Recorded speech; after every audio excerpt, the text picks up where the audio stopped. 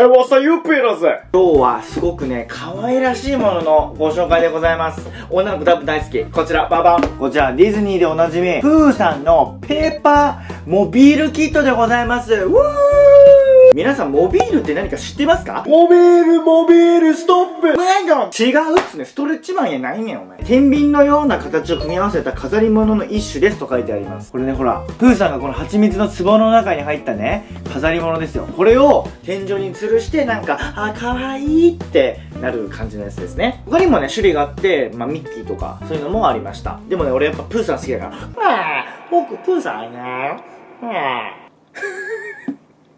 はい、ということで、開けていきましょう。あ、出てきた。うあ、プーさんだいきなりプーさん出てきたんだけど。特に接着剤とかいらないみたい。もう、これだけでもう組み立てられるみたい。じゃあ、ちょっくら作っていくぜ。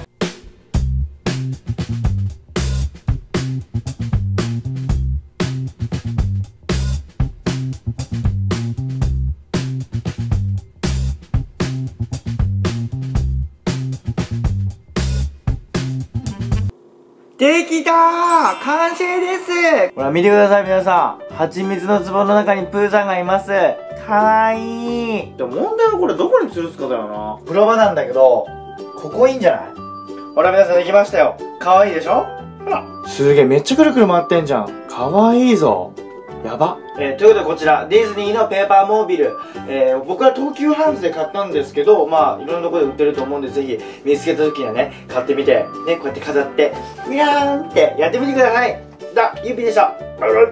なんかさ、部屋がどんどん女子っぽくなるんだけど、気のせい？気のせいかないやでもさ、ディズニーってよくない？ランドか C か行きてえな。ランドに行きたい !C 最近行ったからランド行きたいね。